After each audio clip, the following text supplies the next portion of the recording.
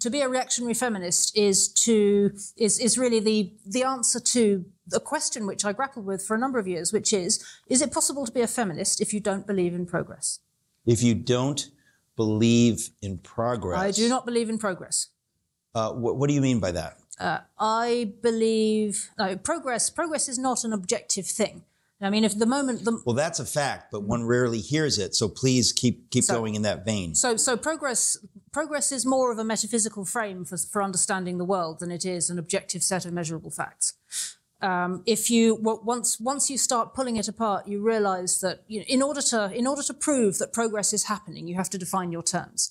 And the moment you define your terms, Right. you've you've begged the question, which is to say you've assumed the truth of what you set out to prove. Gesundheit. Yeah. Um, so So so so prog- progress is not. I mean, it's, it's you know there, there's always some progress, but then there are always trade-offs. yeah, And and what and what's actually going on there when we when when you look at progress in in its totality is that what what we're what it actually is is a it, it's a secularized version of the Christian story of the Christian version of history. That's that's really what we're looking at.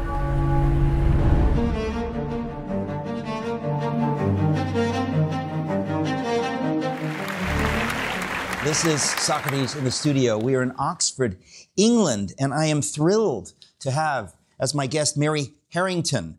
Uh, she is a UK-based writer, contributing editor at UnHerd, where she has a weekly column. Uh, she also runs the Reactionary Feminist Substack, which we will be discussing. Her book, Feminism Against Progress, focuses on women's rights in the biotech age. Uh, her work's been published in First Things, American Affairs, New York Post, The Spectator, The New Statesman, The London Times, and The Mail on Sunday. She graduated from Oxford University in 2002 with a first in English literature. Mary Harrington, welcome. Thank you for having uh, me, Eric. I hope I've embarrassed you at least a little bit. That's very important. Um, there's a lot to talk about with you, which is a, a compliment. Um, the the uh, the title uh, we we gave to this conversation uh, is a discussion on transhumanism, feminism, and human nature, which gets us a little bit into the subject of AI. Um, but why don't we start with your book, Feminism Against Progress, and what you mean by reactionary feminism? I, I, I, I'm guessing that most people in our audience aren't familiar with, with that idea. The idea of reactionary feminism actually started as a joke. I had a very long running argument with a friend, all via Twitter DM. Um, All he- via Twitter This, this was uh, actually before we, well, he's a friend now, but but at, at that point it was somebody who appeared in my Twitter direct messages to say you don't you, you don't want to be a post liberal feminist, you want to be a reactionary. And I said, what? Who are you? Um, and then we had this extremely long running argument that went on for months and months and months, where he said being post liberal was meaningless, and I said, no, no, this is this is nonsense. And it was a very long argument. And in the end, I conceded I conceded his point. I was like, okay, fine, reactionary makes more sense. Um, but I wasn't going to tell him that uh, because I just. So instead, I just changed my Twitter bio to say reactionary feminist, where previously it said uh, post liberal feminist. And that was and that was how reactionary feminist came to be coined. And then um, Matt Schmitz wrote to me from First Things to say, This is an arresting phrase. Would you like to write an article with us and explain what it means? At which point I had to figure out what it meant. So I sort That is actually very funny. so I, I had to. It, it, it was reverse engineered, but I mean, my, one of my one of my maxims is that you should meme first and ask questions later, um, because it's usually the case Yeah. that if something sounds good in meme form, it will unpack uh, into about ten thousand words of normal person language, Well, yes. and it will make and it will make sense in that as well. But it just takes many more words to get there. But that, I mean, that's the nature of truth, isn't it? I it's very early in the conversation to be there already, but yeah, I'll roll with that. Well, I mean, truth, beauty. There, there's something. Um, I don't know. I would. I would argue. I mean, if uh, we're not. yeah, we, it is early in the conversation, but you know, when you're talking about human nature, I would argue that we have an innate affinity uh, for the good, the beautiful, and the true, and so somehow, you know, in in a good meme, you you recognize something, and you're not. You don't need to be sure yet what it is. Yeah, and, I think you, that's you can unpack it as you Yeah. do, as you did, if you've done, Yep. uh, in retrospect. I think that's right. I think that's right. You look at something and you think, yes, and you don't know why yet. Um, and it's it's usually because you're you you sense you sense the way it makes sense in a in a non-linear way in a non-rational way Right. in a on the on, on on the axis of pattern recognition or something something woo woo. Anyway um, so so that was that was how that happened. And then I tried to write the article for first things and that was really difficult because then I had to figure out what I meant. And it's much more difficult to write something out at length in normal person than it is to do it in meme form. Um, but I got there in the end and actually that was that article which is called reactionary feminism and it's still up at first things um, turned in prob- probably became the backbone of the book. When when did that article appear roughly? it was uh, 2021 maybe? Yeah. Somewhere 2020 or 2021 thereabouts it was some time ago. Um, and then over the course in the course of that you know I'd, I'd been talking to publishers about maybe writing something and i wanted to write something about feminism after freedom.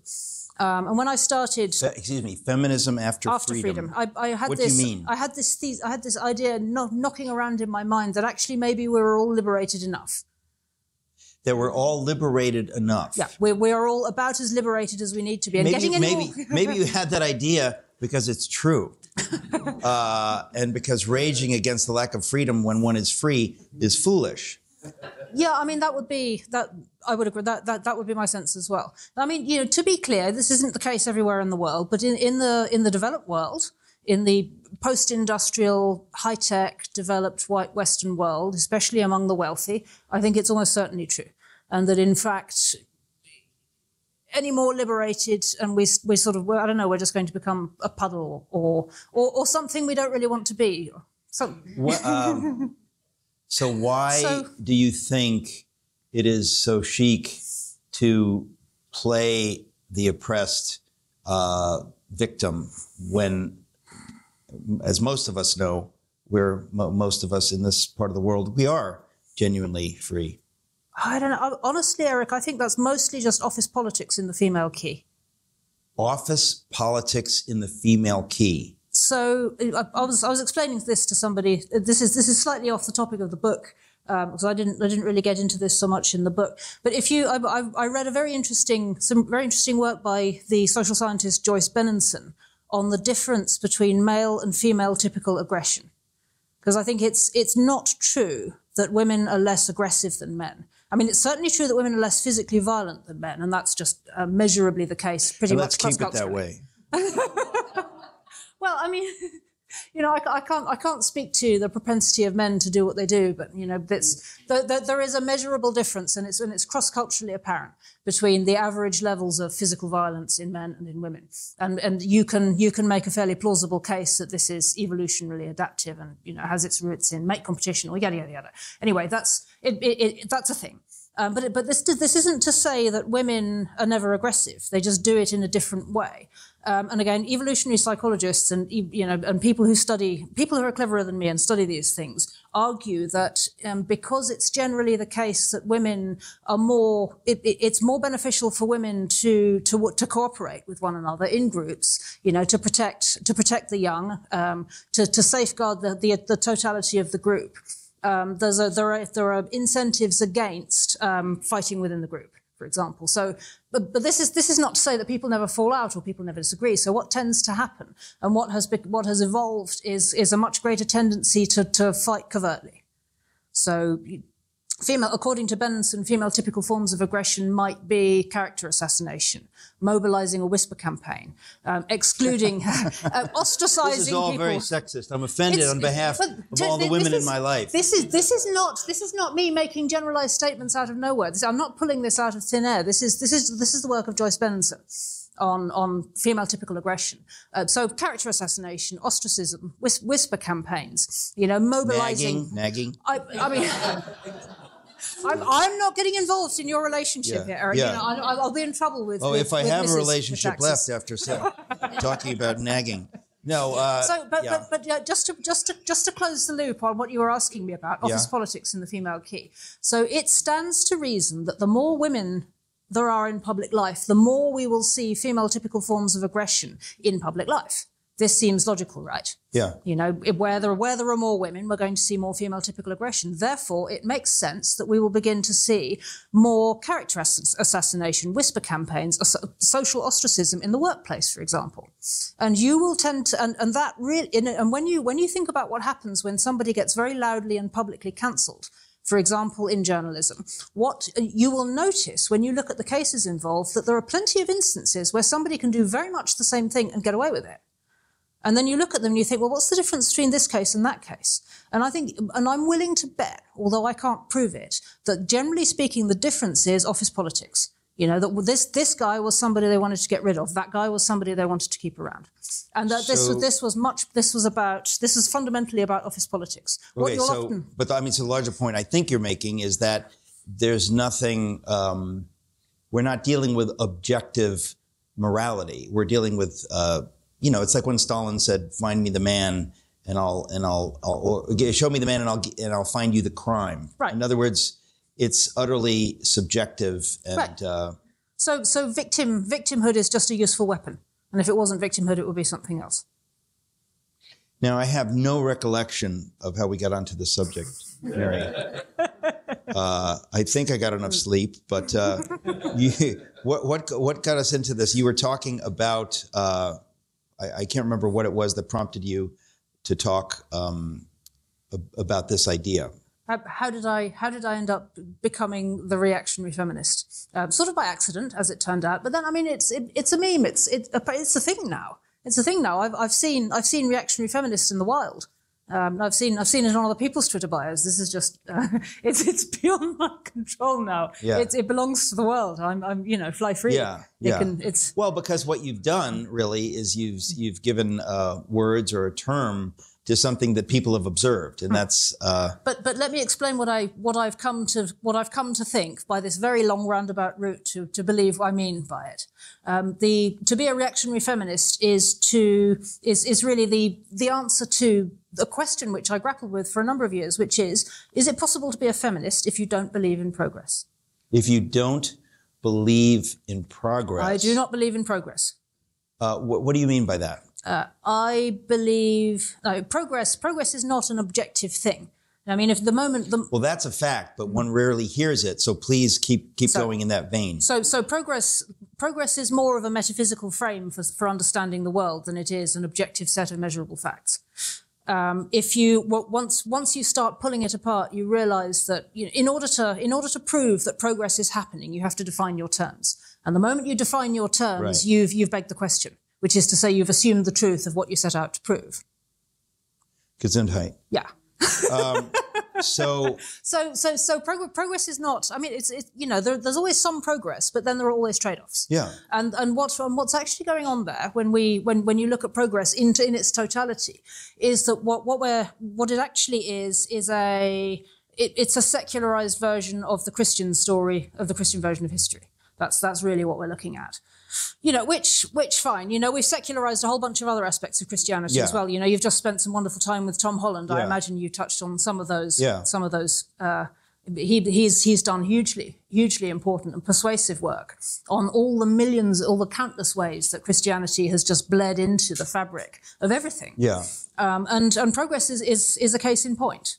You know, I, am just going to point at Tom Holland, who you was who you were Yeah. with just Yeah. now, and say what he said. But So so I don't believe I don't believe in progress. well, you say that. I don't know that you you mean it exactly. I want I want to probe it a little bit. Uh, you you don't you don't believe in progress the way maybe progressives believe in progress. In other words, th- th- this idea that we are. I mean, underlying that idea, to, to my mind, is, is this idea of evolution, that we're all evolving toward something better. And you think, well, what, why, what is it about human nature or about reality that would make you say that? But there, it, it is an underlying assumption that, that uh, I think, I think is mistaken. So I'm with you on that. I don't believe in that kind of progress. But you, Okay, so so things change. That much is obvious. You know, we don't live in the same world as Yeah. the ancient Romans did. Right. But you know, is that world better or worse in an in an absolute sense, taking everything into consideration? I don't know. I mean, that's just not really. A, it's not really. You know, you can you can make Well, what- that assertion. I would say if you go back to the to the Roman Empire, you could say, yeah, things are better. But if you go back to the Victorian or the Edwardian, you could say, I don't know. In other words, I'd be happier saying I don't know if we want to look at the Edwardian era than at the uh, just just. Uh, I mean, you know, we could be here all, you know, de- debating whether or not the, the Roman Empire was better or worse than what we have now. You know, they, there were some pretty pretty sketchy things about the Roman Empire. oh, but- you think? Yeah, We could be- slavery and crucifixion. Right, What yeah. what other things can we ding them with? Let's see. um, infanticide. yeah. Yeah, yeah. that's that was pretty gross. Well, so okay, so you know, it- they, had some pretty hideous ways of putting people to death. Right. So if you're going to, if you're going to uh, bring that up, why wouldn't you believe in progress? Are you saying?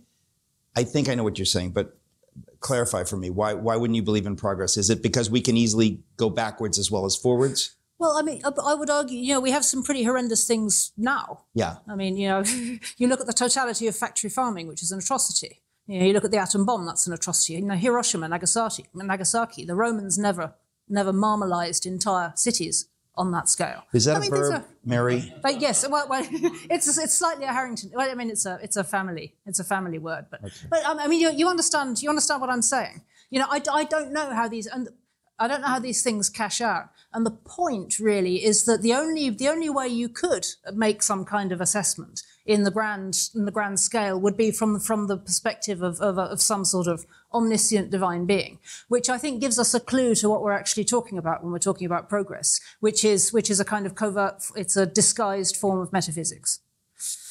well, there's yeah, and Um, a- usually not at all, not all that of sec- disguised. yeah. But you're you know you're you're absolutely right. It's a secularized eschatology. If you Absolutely. and you can say Gesundheit again. Absolutely. No, no, no. But that's no, that's a, that's. A, a term that I wouldn't sneeze at.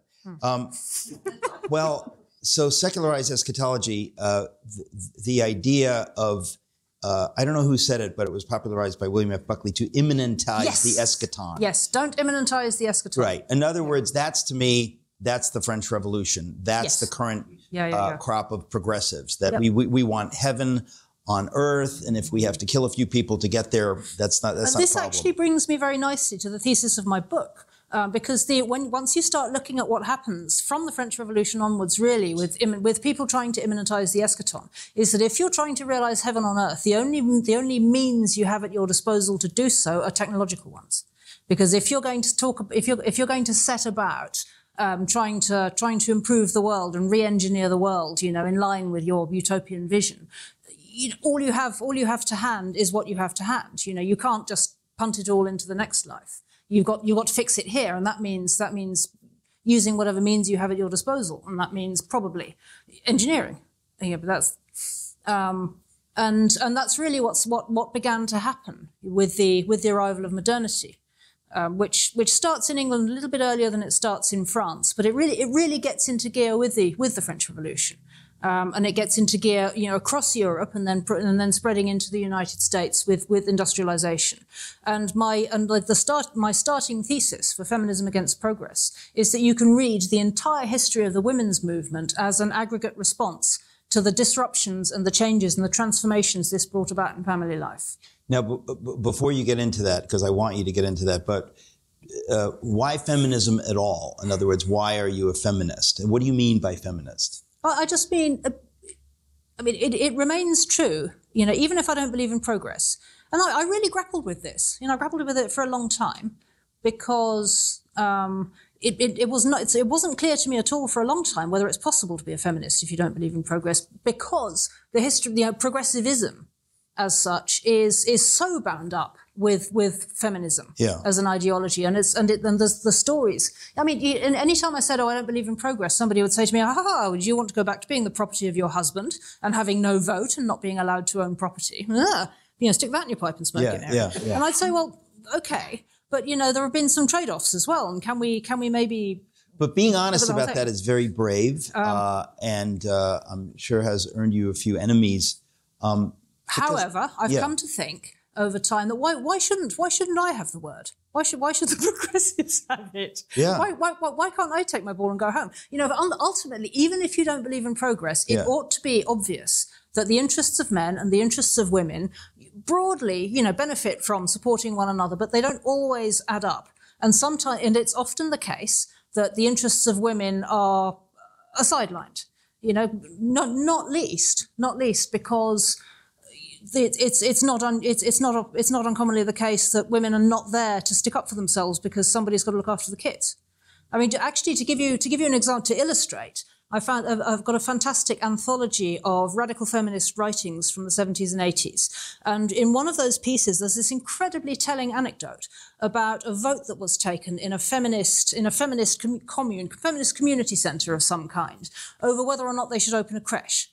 And they voted, and, and the women who were there voted against it.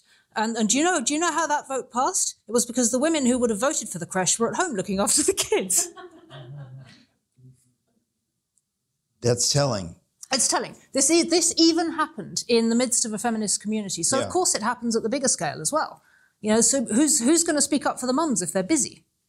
So it's a Yeah. problem. Yeah. Even it, and, and that's that, that's not just going to be a problem in, amongst feminists. That's going to be a problem for everybody. So somebody's got to. And I mean, why shouldn't we call that feminism? Isn't that what it is? I don't know. So I've so, so I've just decided I'm going to say that's that's feminism too. Yeah. I'm going to keep my ball. I'm not giving that one away. Yeah.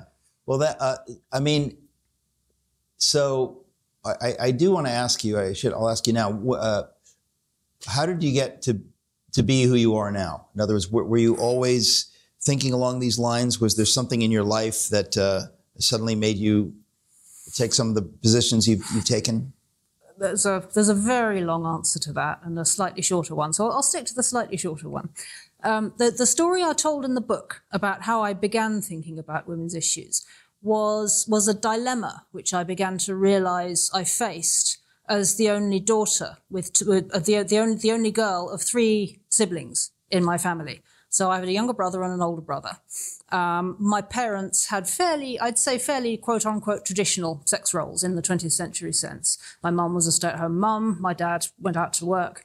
And I remember getting the reaching a point, I guess I, I must have been maybe 13 or thereabouts, where I realized. I thought you said ten. no, no, who, I thought I read this. I, th- I, I it's it's ringing a bell with me. It doesn't matter. how- I mean, some, somewhere, 13, yeah. somewhere in, uh, somewhere Yeah. around puberty. Yeah. Um, I began to notice that my dad would get up at the end of dinner and he'd leave the table and he'd leave his dishes on the table. And my mum would have made the dinner and she'd have set the table and she'd have got, you know, got everything ready. We'd all sit down and eat. My dad would get up and leave and leave, leave, the, leave the dishes for, for somebody, question mark, to clear up.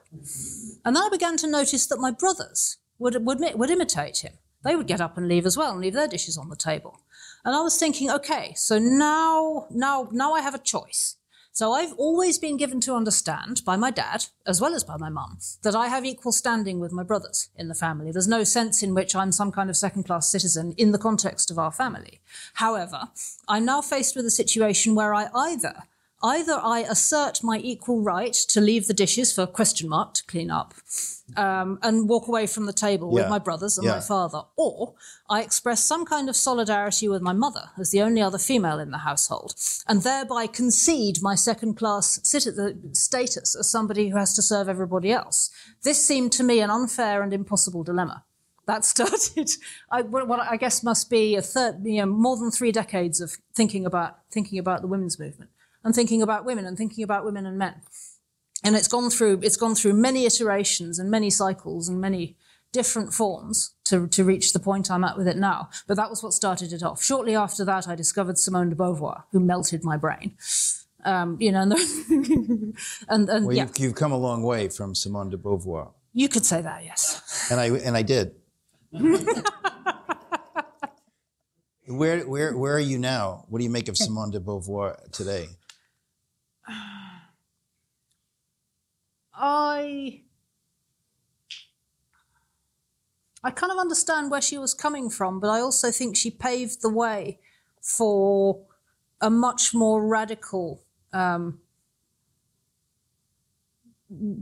a, a much more radical mutiny against femaleness than even she would have thought was wise. Against femaleness. Yes, she she she her her whole stance was that it, it was in a sense, you know, a, a a kind of critical handicap to attaining personhood to be female. Yeah, she she seems to have hated.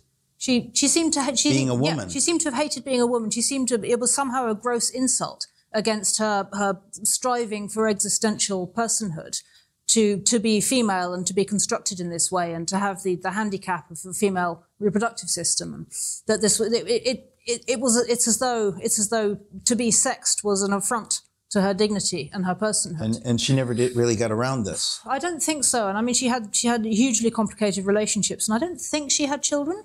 With Sartre. Yeah, uh, yeah. I mean, go figure.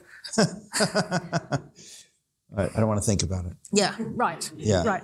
Um, so, so I've, I, I wouldn't, I, I wouldn't say, I wouldn't say I'm on board with the with the Simone de Beauvoir project. No. Um, but it was, it, it was just, it was, in, it was eye opening to me, age 13 or whatever I was, to discover that somebody had given quite that much angry and resentful thought to some of the same problems as I was grappling with at sort of micro scale in, in my own life. And I guess that started a lifelong, a lifelong interest and inquiry. But that's been the problem, it seems to me, with feminism is the idea that uh, there's so much of that in it. The the idea that uh, uh, it, it, it doesn't really it it it doesn't seem to have maybe until you uh, understood where it, where it wanted to go. Well, I don't think I don't. I, I would dispute that just because it's a much a much longer and more fractious history than you would than you would think if you only ever read the magazine Feminism uh, that Yeah. gets sort of popular, Yeah. gets propagated in a popular sense. And it's also not helped by the fact that sec- since the second wave, there's been a very methodical effort by, by some feminists themselves to memory hole earlier iterations of feminism. Like Mary Woll- Wollstonecraft. I mean, Mary Woll, yeah, the legacy of Mary Wollstonecraft is very is very contested, um, but there's a there's there's a sort of collective amnesia. It's it's beginning to sh- it's beginning to come apart, but the, for a long time there's been this real collective amnesia about the 19th century yeah. and the, that that entire history, which is very much more complex and very much more in, very much more ambivalent, very much more interesting to me than than than just the story of the vote. You know, the, word- the, Yeah. there was a women's incredibly well networked and, and powerful and mobilized women's movement long before the suffragettes began. Yeah. and there was and and, great, and they had and and this women's movement actually had very mixed feelings about the suffragettes. Um, you know, even the suffragettes had mixed feelings about the suffragettes. It was, it's full, it's a hugely complicated and Yeah, very fractious yeah. history. Um, the, the, and the, the the second wave story of you know liberation from from sexist stereotypes really doesn't do it justice. That's that's a story which is it. it right, the, the, the winners write the history books. That- and, and that's what, happened- we're talking about, right? Isn't that that's exactly what you're saying? To Yes. memory hole. In other words, it's to to insist on a certain narrative. Yes. And yes, and, to- and I'll to- explain. I'll explain why and what happened there, or at least my my my thesis for what happened Yeah. there, which is that you know really out of out of industrialization um, came a, a, a, a very necessary and justified need for women to respond to the way indu- the industrial revolution had transformed family life, Yes. and particularly by draining work out of the home um, which obviously created new problems for women who had previously, you know, in various sort of agrarian and artisan settings, worked in conjunction with minding little children. I mean, clearly you can breastfeed whilst simultaneously weaving textiles for the family at home, you know, and that had been the case for you know tens of thousands of years in one form or another, uh, some kind of a life along those lines. But then with the Industrial Revolution, textile making leaves the home, uh, male employment, male labour leaves the home. Um, and then women are left, and particularly in working in poorer settings, women are suddenly in a position where they need to, they need to they need to go out somewhere else to work. Um, you know, I mean, if, and you, if you've got a breastfed baby and you're supposed to be working in a factory, I mean, what do you do? You know, it creates a whole new set of a whole new set of dilemmas that women just simply hadn't had to deal with at scale before. And wherever, and and and the way I've the way I've understood it, this there were two characteristic responses to this. Um, really, mostly depending on social class. Those women who could afford to stayed home in this very, in actually what was a what was a much reduced role, where they were no longer economically active as members of a productive household, but they were, as it were, the chief consumer in a private household. And, and, and a lot of those women formed the backbone of what became 19th century industrial era civil society. You know, they founded church groups and social reform groups and ladies, ladies luncheon groups and, and they, and, and all the entire thick social fabric of, of 19th century Britain and America was run by, by middle class stay at home ladies. They were not the, they were not the isolated housewives of the sort of Betty Friedan story. They were, they were something very much more potent and very much more public facing. Yeah. Um, so that was, and, and, and they wrote. And they wrote vigorously and prolifically, and they published their own magazines. And, and a lot of these magazines were very much dedicated to the, this, what they called the, the women, woman's sphere, um, which is now it's now dismissed by a lot of feminist historiography as sort of fifth columnists for the patriarchy. But I read most Yeah. of, I read that straightforwardly as a kind of feminism. And what they're doing is they're making a case for the importance of women's work. Yeah. Even even though the even though women's sphere has shrunk and is no longer an economically active sphere, they're making they're saying, well, this stuff still matters. Kids still matter. The education of children still matters. Having a nice home still matters. All of this stuff is really important, and so we're gonna we're gonna sing the praises. So they didn't denigrate it, right? Right. So this is this is one half of the response, but then there are also women who said, well, no, actually, all of this is fine, but it's only fine as long as your husband is a good guy. What happens if he's not? It's only fine. It only works if your husband doesn't drink the money away, and it's only fine if he doesn't beat you, and it's only fine if he, you know, is, isn't isn't a terrible person in all the other ways because he has effectively. Um, he had he's the they were utterly at the mercy of their husbands. You know, when you can't divorce, you can't own property in your own right, you can't really work, um, and if you separate, your your your husband has absolute control over what happens to the children. You're in a pretty tough. You know, if you're if if if he's not a good guy, you're in a tough spot.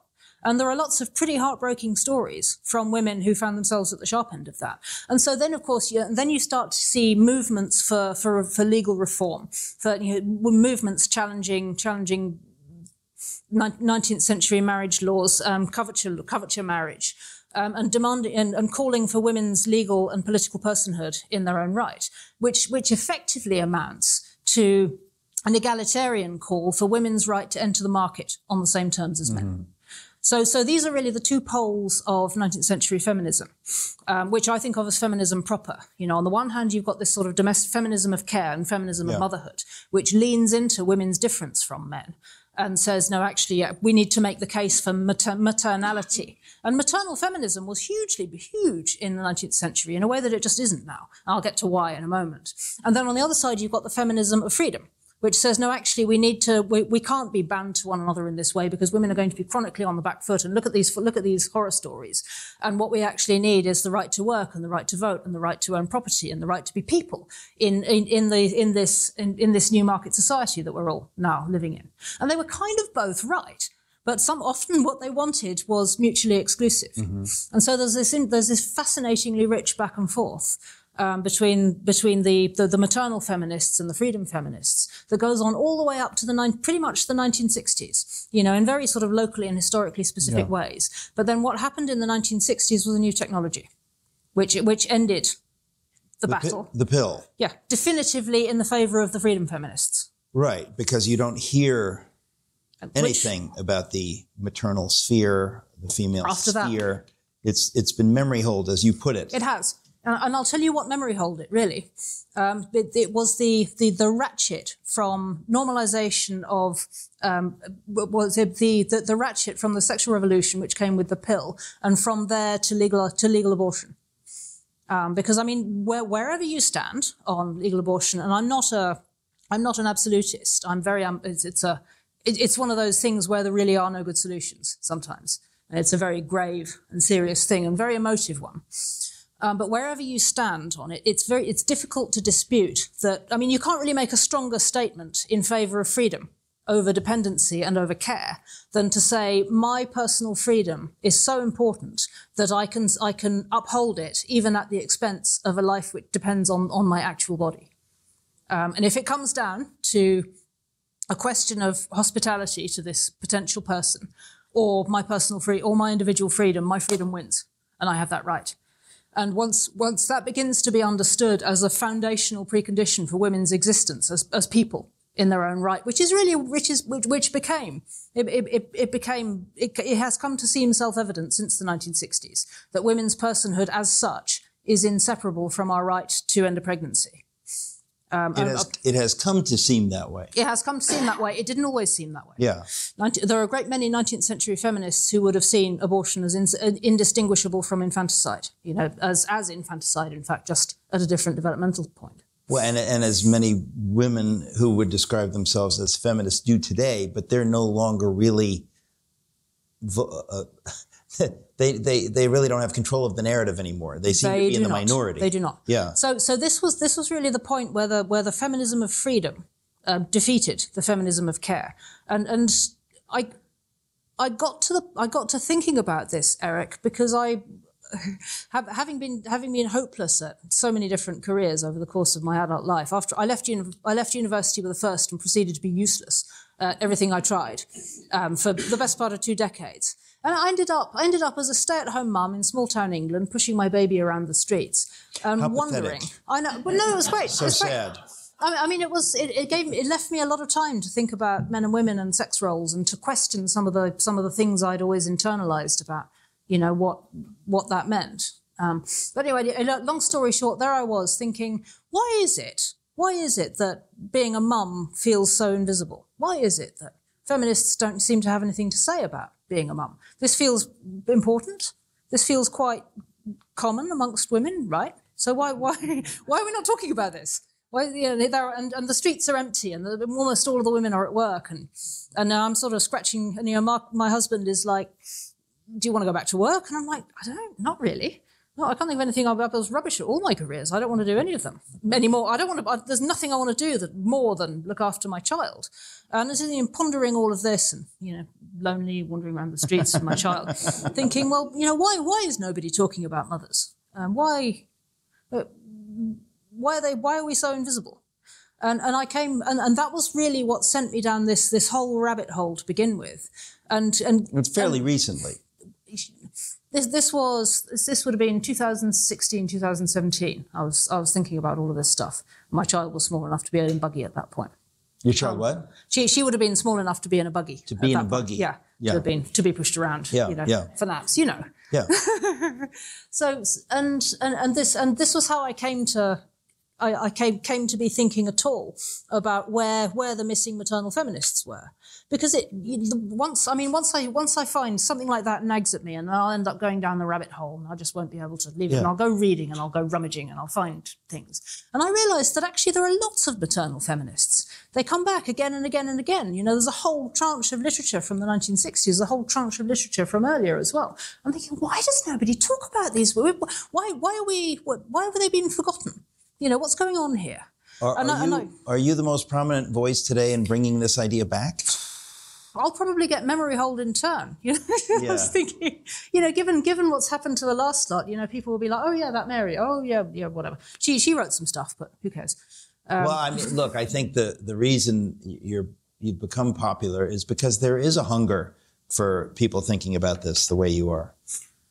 Well, well, let, let's hope so. Um, let's hope so because It brings us. I mean, the it brings us to the question or to the to the issue of uh, of human nature. Uh, you're you're daring to think somewhat courageously about what does it mean to be a woman? What does it mean to be a man? You know, things that uh, sometimes people say, "Well, we're we're not talking about. It. We don't talk about that." But you're you're daring to think about it, trying to be honest about it. Right, and actually bringing bringing these these themes that we've been exploring together, and they, they do they do coalesce on the question of human nature. So I've I've talked about this this real this inflection point in the 1960s where where freedom feminism won out over maternal feminism, hmm. if you like, and really how, and how the how that how that came came to be the case via the the embrace of a, a contracept, the contraceptive paradigm, if you like, the sort of biotechnology, the biotechnologization of women's bodies as a precondition for our our existence as people. Um, which I, I mean, I've, I've, in the book I've called it the the beginning of the cyborg era, in the sense that by embracing personhood on these terms, women are effectively accede, acceding to a paradigm that that, con, that constructs us as cyborgs. You know, we I, I don't exist except in as much as I'm willing to technologize myself to take my reproductive role out of the picture. To talk uh, about the Ponzi scheme, uh, because this leads us to that. I think. Ju- ju- ju- just to finish, just to finish the thought about human nature, the cyborg, the the, the cyborg era, and the the end of the end the end of maternal feminism. I'll I'll get to the Ponzi scheme um, because that that really that, that that's what that's what being a mother looks like once you're in the cyborg era. Right. But the the question of human nature is is difficult in this context because if, if we're if you said about immanentizing the eschaton, which was really where we started, you know, trying to realize heaven on earth, um, the the point where we arrive at the cyborg era is the point where we start trying to technologize away our own nature, and that begins with women. The entry, our entry collectively into the cyborg era begins with the technologization of women's bodies, which is really about trying to realize heaven on earth by making everybody radically equal, by, by abolishing those inconvenient ways that women are different and seem disadvantaged in terms of market society by virtue of our different reproductive role. So really, it's it's about you know we're, we're using these these biomedical technologies to to try and realize heaven on heaven in our own bodies, rather to in to realize heaven on earth. Um, How so, strange that Mary Shelley, uh, in her book Frankenstein, seems prophetically to be really talking about these yep. things over 200 years ago. She saw it. She saw it. Isn't that amazing? And of course, she was she, she, was a relative of Mary Wollstonecraft. Yes. So yeah. It's it's amazing yeah. to me. Anyway, so, so. yeah. So the, there are there are some extraordinarily prophetic uh, women where it comes to seeing seeing where the technological paradigm would, would lead us eventually. But yeah, so so the so so here we are now. You know, we're 50 years into the cyborg paradigm. We're, we're into the cyborg uh, age you know, the industrialization of human bodies has proceeded a great deal further down, along that line. Mm-hmm. You know, where we started out with, you know, rolling out radical egalitarianism in women's bodies. I mean, it follows logically from that that we should be able to use biotech to, to, to, to level the playing field in any other way uh, that, that we, or, or to, to, to, to flatten out um, injustices, embodied injustices in any other way that we, that we see fit. You know, mm-hmm. we can cut bits off ourselves or we can take a pill that fixes this or that or, or I don't know. We, in, in theory, the potential, the potential that opens up for re-engineering ourselves is limitless. In theory, you know, in theory, in practice, that's not how it works because it just isn't. And this is this this is the really the just, just to finish that thought off about human nature. I think we have a powerful illustration in the contraceptive pill of how that is not in fact true.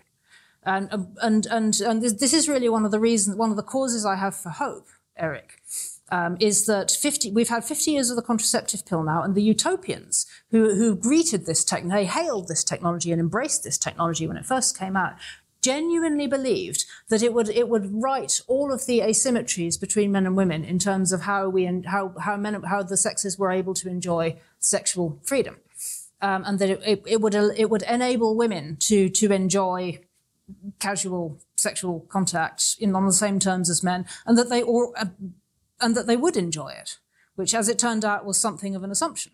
And what, but in practice, in practice, that's not how it's turned out. You know, the sexes are not, uh, the, the sexes haven't just become indistinguishable in terms of how they approach intimacy. That's that, that's not how it's worked out at all. If anything, the uh, my my great friend Louise Perry recently wrote a book, very very convincing book called "The Case Against the Sexual Revolution," where she argues that actually the sexual revolution has mostly ended up empowering a small a small subset of highly sociosexual, um, borderline sociopathic men who who get as much sex as they like, and everybody else is Everybody else is suffering in a bunch of different ways, and women women really haven't done very well out of it because they the the normative female craving for intimate relationship and long term long term affectionate intimacy, which has not gone away over the last 50 years, no matter what the utopians imagine, yeah. um, is now is now much more difficult to fulfill because sexual access is no longer a, a, no longer something that you can conjure with to to pursue that kind of that kind of long term committed partnership. Um, so on average, it's ended up, it's ended up, it, it, has not, it has not been the great boon to women that that, that we thought it would be. And in the in in in, how, in the, the way these things have played out, we can see the contours of our sex differences just as clearly as we could before the sexual revolution. We can see we can see the, the normative behaviours of men and we can see the normative behaviours of women. And really, they they haven't changed a whole lot over those fifty years. And you might think, well, that's a dispiriting, that's a depressing conclusion, Mary. But but I look at it and, I, and it gives me hope because it makes me think, well, okay, so now, now they're threatening artificial wombs or they're threatening all sorts of other deranged technologies. And people are saying, oh, what if this turns us into something which isn't human? And I think, well, no, that's, I mean, if, if it works, if it shakes down, the way it shook down with the pill, you know, we'll probably end up creating some atrocities as a byproduct, and I'm not cool with that, to be clear. but the end, the end point will be that we will, we will be able to see much more clearly, once again, well, the contours of our actual nature. And we'll do our we'll do our level best to technologize it away, and we'll just end up being able to see once again why we are the way we are. So you're. I want to get to the Ponzi scheme, but uh, and you you almost got there, but you are talking. I am holding that thought. Trust me. Okay, but you are, but you are talking about human nature as though there is an objective reality. And uh, there are many people who simply don't believe that, which gets us to transhumanism. I mean, there are really people um, who are convinced that there is no limit to what we might become. And it seems like what you're saying is they try again and again, whether it's with the pill or with the idea of an artificial womb, that they, they keep trying and it keeps coming back. Uh, there's, there's, you know, it's like betting against the house. You always lose, but they, they keep trying. That's my expectation. They will keep trying, and it's going to suck. And they but they're betting against the house. Yeah. Um, I can't prove it. You know, the only the only we're going to find out the hard way. You know, we can jump up and down and say, well, don't do this because you're just going to create monsters and then we'll just end up with human nature again. Um, but the, nobody's going to listen to me. You know, I'm just some, some woman who lives in a cupboard full of books. Nobody, nobody's going to pay any attention to me. So, they, so we're going to find out the hard way. But, you know, it'll be 50 years into trying to, trying to become superhumans or you know trying to optimize humans for 250 IQ will realize that actually that was catastrophic in some other way and that we just hadn't banked on because we weren't looking at the, the integrity and the totality of the human organism. Well, so what do you think it is about the nature of reality or the nature of, of human nature, speaking objectively, um, that works against these things? Why, why, um, why is Mary Shelley's Frankenstein prophetic? What, what, what is it about we humans? It's funny. I was for, for the longest time, I thought maybe maybe my ten year project should be to try and figure out a way to talk about human nature without having to go via the church fathers. Because I mean, it seems like the, the most direct route is to go via go go via the, the the church fathers, but but you can't really do that because people you can't really do that now because people just won't listen. Um, if you you you start to, you start throwing Thomas Aquinas at people, and right. they'll, they'll, they'll just walk out. Yeah, you know the mo- the moment literally the moment you quote Thomas Aquinas, you've lost. Even That's I just, would walk out. yeah. Right, yeah. right. You know, and, and, and, you're not even joking. So so you have you have to find some you, you have to find some other way of getting there. Yeah. Otherwise, people people are just going to tune out. Um, so I thought, well, you know, is this is this a worthwhile project? And I've I've actually come to think, no, no, this is a stupid waste of my time because actually I, I shouldn't I, I, shouldn't need to make the case for human nature because all you have to do is open your eyes. And actually, the more interesting question is what does it mean to open your eyes? What does it mean to be looking such that you can see it? And I've, I've and the more I've the more I've thought about this, the more I've thought that actually the, the important thing that we need to be leaning into is not trying to make an intellectual case for something which is, is just right there under our noses. It's making making a an experiential case, perhaps even, uh, a, for, for seeing the world through the lens of pattern recognition rather than through the lens of analytic, dis- dissecting analysis. Um, because it's not possible to see human nature through in an analytic frame.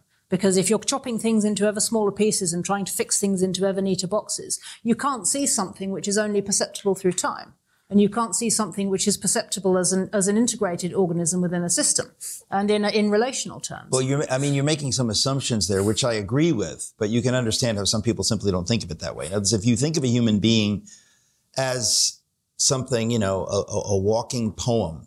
Uh, created in the image of God, something eternal, or so. However you do it, that's different than saying you're just an aggregate of chemicals and uh, you know you come and go and that there's nothing transcendent uh, or fixed or pointing uh, beyond ourselves and there are many people who have that materialist view it's it's a little bit bleak but that those people uh, they, they don't I, I, in other words why would they want to think holistically? Why would they want to think uh, in the way that you've described? Well, I'm, I'm probably not going to be able to persuade those people to think holistically. That's that's chances are that's just not going to happen.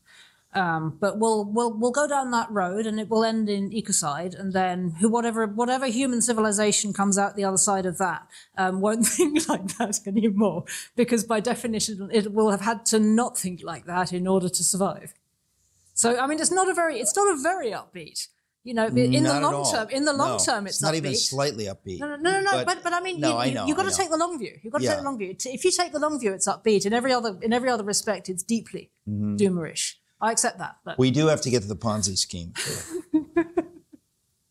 yeah, I mean, okay. So, so within within the the technological order, the, the within the cyborg order, um, in which we find ourselves now. in which we find ourselves now.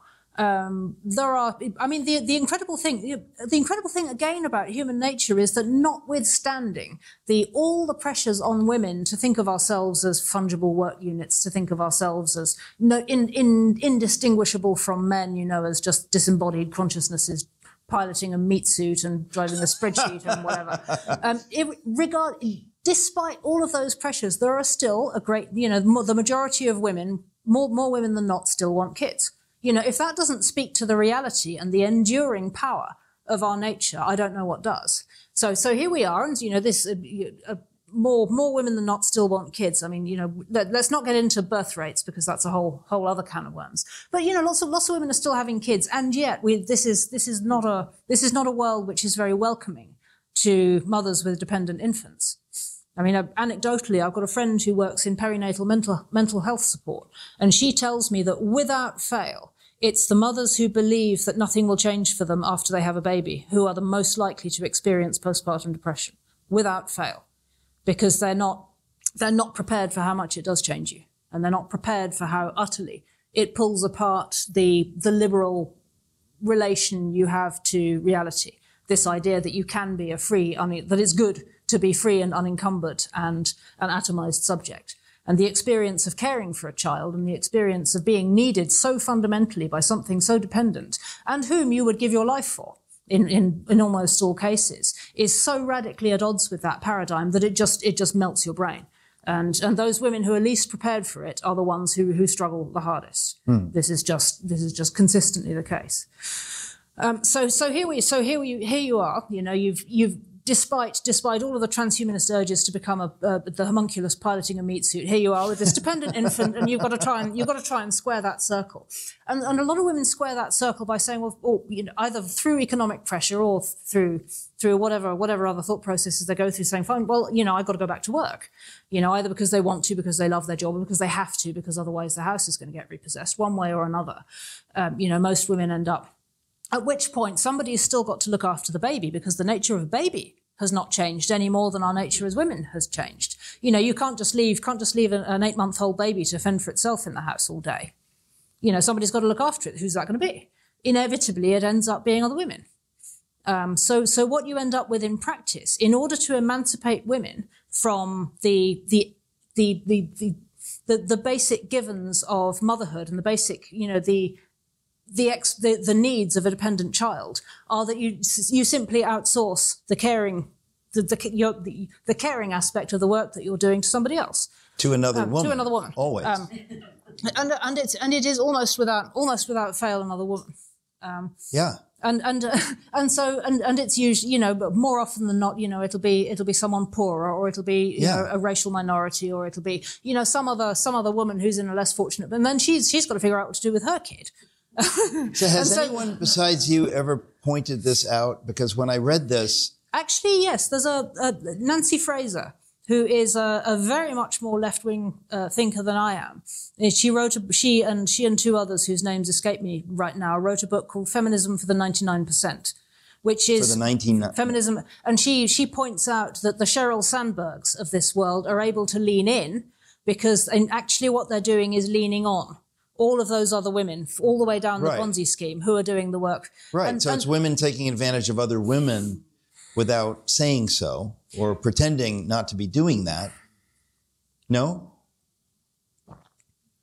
I mean, I, to be clear, to be clear, I'm I'm not going to I'm I'm not going to throw brickbats at any any woman for the choices that she has to make, um, because nine times out of ten, you, you'll you'll find that women are acutely ambivalent about about the about the choice. You know, most most mothers with little babies in childcare feel very conflicted about it. Um, and, and it's very it's very difficult to, to, to figure out what to do with the, in the world as it is without feeling as though somebody is pointing a finger at you and saying you're doing it wrong. Mm. And I, don't- I, I don't want to be I don't want to be one of those Yeah, women who's yeah. saying hey you're, you're doing it wrong. Yeah. Because I mean if you if you stay home with your kids somebody's going to point the finger at you and Yeah. say you know you're you're letting the side down or you're you're just lazing around or Yeah. you know, you're, you're just wrong in some other way. Yeah. You know, a, a woman's place is not in the home. A woman's place is in the wrong. and and I, you know, I, I don't want to join that chorus, but but I think there there are structural you're doing the opposite of joining that chorus. I think you're giving uh, hope uh, to the women who find themselves maybe wanting to stay home. You're you're you are saying to them, yes, that's not a it's not a crazy idea. I don't think it is a crazy idea. And I, but but I, but but what I what I should also say to that is that it's it's a luxury now to be able to stay home. You know, the world the world as it is now uh, makes stay at home mums a luxury good. Um, it, it perhaps wasn't the case when I was a kid. Yeah, I mean, my, I had a fairly average middle class upbringing, and we were able to we were able to raise a family on one income. That's almost almost never the case now, unless you're incredibly well off. Um, and, the, and so the reality is, for most families, that both parents have to work to some degree or another. And in that context, I'm again, I'm very hesitant to to point the finger Yeah. at to point the finger at mothers and say you're doing it wrong. Right. Um, but uh, but what I anytime anytime a woman in in her early twenties asks me, you know, how do you think I should how do you think I should plan ahead because I really want to be a mum? Yeah. I say, well, okay, so you should probably be looking for for a line of work professionally which is maximally portable and is and and which you can do at least to some extent from home. You know, don't look for a job which keeps you for long hours out necessarily out of out Yeah. of out of the home. Look for something you can do from home. Um, look for something you can do flexibly. You can scale up or scale down depending on the needs of your family, and that way, chances are you'll be able to exist in public. You'll be able to you'll be able to contribute to the household expenses, and you also won't miss your children growing up. So you know, those are some. I mean, this is the the woman I know who's maximally nailed work life balance is actually my hairdresser. She she works out of her garage. She's got a perfect, perfectly sized miniature studio in her garage. yeah. Um, you know, and even even with like the little Biscoff biscuits and the and the, and the cappuccino machine, it's, it's just perfect. Um, and she's and, and she's a great hairdresser, and, and it's all there. Um, and she she works around. She works. She has she has two lovely daughters. She works around school hours. Her mum lives nearby. Um, her husband also works from home. Um, she's nailed it. Um, she's she she's she she contributes to the household. You know, they're, they're they're both equal. The, economically, they're both active. But what they've done in an in a very 21st century way is recreate the productive household from before the industrial era. That's actually That's- and, and that yeah. that I think is absolutely crucial. And you know, of course, there are going to be there are some lines of work where you can't do Yeah. that. But anytime anyone asks me, I say that that's that's the holy grail. Yeah. If you can recreate the productive household, as where both parents are doing some kind of work in conjunction with child caring in a way which allows at least a bit of flexibility, Yeah. um, then you, you have a you have a shot at a family life as well as being as well as kids. We um, we only have a few minutes left. I wanted to touch a little bit more on transhumanism, or maybe you can just say some things about AI. We were talking earlier, and you had some thoughts, but I'll leave it up to you. Oh, I don't know. I, you know, there are you, you get lots of hype in the press about how you know we're going to end up with some kind of super intelligent computer. I, I have to take over the say, and- just bluntly, I think AI is mostly nonsense. In other words, this idea that, you know, first of all, it's artificial intelligence, which is to say it's artificial. It's just computing on another level. Right. Uh, and human beings, it's you know, a very fancy autocorrect. it's a, ve- you've said that before, and I'm glad you said it now. It's a very fancy autocorrect. That's all it is. It's a technology. It's, Right. it's not, we're not, we're not creating machines that can evolve consciousness. But people act as though, because they don't believe in human nature, um, they seem to think that anything can happen and machines can get so smart that they can have consciousness and supplant us, which is a little silly. No, no, that's that's just silly. Um, which is not which is not to say it won't have transformative effects. Indeed, it is already having transformative Yeah. effects. I mean, there are there are some corners of, for, for example, in business business research, in you know, in business sector research, where people who are adept with it, data scientists who are good with AI, can do can do in days what. Uh, what a, what, what a researcher might previously have taken weeks to do, because they, they just know how to how to get the AI to do the do the basic work for them. But then what what you then need is the human input at the end to do the sense checking. Um, and I think I think that that's a that that serves as a template for both where the threat lies with AI, um, which is not which is to say it's not going to turn us all into paperclips and, and take over the world. But what it will do is displace a lot of living living breathing human beings with families who depend on them from lines of work that they've been they've been engaged in possibly for decades, and at a point where they where they may or may not be able to reskill. um, because it just it's just able to do do certain certain very limited types of pattern recognition quicker and more effectively than a human could. So, so, so there, there is a real threat there. Um, you know, much the same way as automated checkout machines replace cashiers up to a point, but then there's, you still need. But then, um, what, what, what, and so then what you what you get instead of instead of the people doing either the you know putting packets through a scanner or you know counting counting ships or whatever whatever you happen to be doing, you you end you you end up with with people whose job it is to debug. So you, have got the sense checker at the end who's going through the report and, and, and saying, well, does this actually make sense? Does this stack up? You know, I need to check the database and make sure the robot hasn't done something idiotic. And, you know, in the, in the same way in the supermarket, you, you've got, you've got the one person who's replaced 10 cashiers, whose job it is to, to, to, press the button when invariably the machine says unexpected item in bagging area or some other stupid thing that drives driving everybody crazy. So, so it, there are, so, so the, the, the human input is maybe reduced, yeah. but it's not non-existent. And mm. it's new kinds of input, which is a, in, in, in the, in the form of sense checking and debugging. Um, and I think the, this is, this is something which I've, I've reflected on as a writer a great deal because there's a lot of there's a lot of kinds of writing which are rendered obsolete by AI. You know, the, the kind of the kind of tedious commercial copywriting grunt work which I was rubbish at for years and years and years um, is is increasingly obsolete because you really can just get robots to do it. And, and it, you know, let's face it, a lot of it will probably be better for that, or at least it's not going to be any worse. Mm-hmm.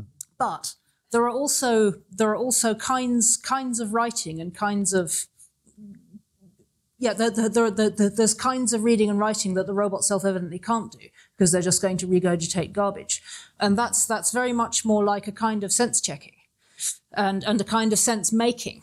Um, and one of the one of the phenomena, really, I think you know what what figures such as you, Eric, do um, is is to aggregate streams of information and the thoughts and reflections and commentaries mm-hmm. that go on, that to try and make sense of this very bewildering world that we live in now, and to distill that into into into a form which is which is then welcomed by an audience of people who will who'll say, "Well, thank God somebody's done that for me because I don't have time to do this myself, and yet I need to I need to understand this." So then maybe I will continue to have a job. I mean, I don't think Eric. Come on, come In conclusion, in yes. conclusion, the, I, no, no, no. The robot is not going to put you out of business, Eric. I think you knew that. I think I did. Know, I think I did. I think I did.